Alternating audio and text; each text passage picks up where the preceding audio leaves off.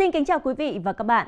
Theo Trung tâm Dự báo Khí tượng Thủy văn khu vực miền núi phía Bắc, thời tiết trong ngày quốc tế phụ nữ mùng 8 tháng 3 tại tỉnh Phú Thọ duy trì trạng thái trời nhiều mây, không mưa, sáng sớm có sương mù nhẹ vài nơi, trời rét. Nền nhiệt độ trưa nay các nơi giảm từ 3 đến 4 độ so với trưa ngày hôm qua, phổ biến trong ngưỡng từ 18 đến 19 độ, độ ẩm dao động từ 77 đến 87%.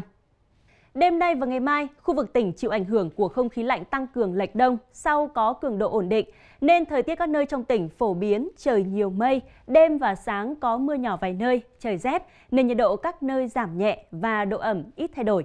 Dự báo hai ngày cuối tuần, thời tiết chủ đạo trên khu vực tỉnh trời khá rét. Vì vậy nếu quý vị có những hoạt động vui chơi ngoài trời như là chụp hình, dạo phố thì nên lựa chọn trang phục với chất liệu dày dặn, có thể khoác thêm áo hoặc là dùng miếng dán giữ nhiệt. Còn bây giờ bản tin xin được chuyển sang phần dự báo thời tiết ba vùng trong tỉnh trong đêm nay và ngày mai.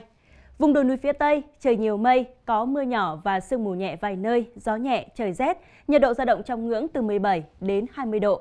Vùng đồi Trung Du, trời nhiều mây, có mưa nhỏ và sương mù nhẹ vài nơi, gió nhẹ, trời rét, nhiệt độ dao động từ 17 đến 21 độ. Và vùng đồng bằng, trời nhiều mây, có lúc có mưa nhỏ, sáng sớm có sương mù nhẹ, gió nhẹ, trời rét, nhiệt độ dao động trong ngưỡng từ 18 đến 21 độ.